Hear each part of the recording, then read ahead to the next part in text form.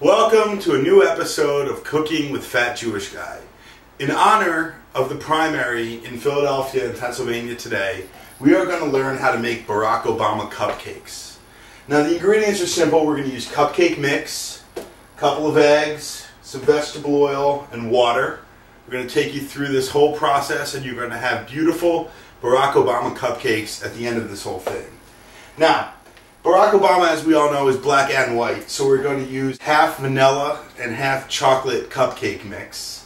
Now, basically, at home you would measure this out, but we're going to use about eh, half chocolate and half vanilla.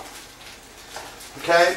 The recipe calls for one egg, which we have right here, three tablespoons of vegetable oil, and a half a cup of water. I've pre-measured these out, put it in the bowl, and we are going to mix. Now if you happen to have an electric mixer at home, this might be a really good thing for you to use, but since I don't, um, it's not the biggest deal in the world. Now, the next thing you do once the mix is all, you know, perfect, you gently spoon it into the cupcake molds. You don't want to fill them up too much because then they will puff up and overflow. Now that we have the cupcakes in the tin, totally fine, what we're going to do is we're going to put them in the oven that is set to 350 degrees and in about 20 minutes we are going to have the first part of our delicious Barack Obama cupcakes. Okay, now it's been about 20 to 30 minutes later. We're going to take the cupcakes out of the oven. Remember to use your uh, oven mitt if you got one. Now this is what the cupcakes look like.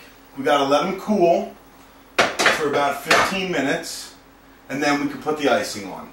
Now that the Barack Obama cupcakes have cooled, we need to make them look like Barack Obama. Now some of you may not have artistic abilities, you can look at a picture of him while you do it.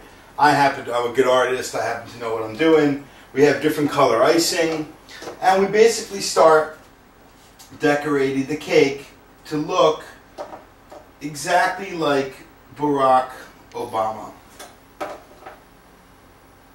Now that we're all done, we've mixed the ingredients, we've put the batter in the cupcake mold, we've baked it, we've cooled it, we've decorated it to look exactly like Barack Obama. I want to show you the finished product. Presenting the Barack Obama cupcake.